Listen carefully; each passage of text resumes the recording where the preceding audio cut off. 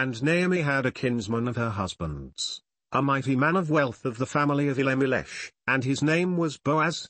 And Ruth the Moabitess said unto Naomi, Let me now go to the field, and glean ears of corn after him in whose sight I shall find grace. And she said unto her, Go, my daughter. And she went, and came, and gleaned in the field after the reapers, and her hap was to light on a part of the field belonging unto Boaz, who was of the kindred of Elimelech. And, behold, Boaz came from Bethlehem, and said unto the reapers, The Lord be with you. And they answered him, The Lord bless thee.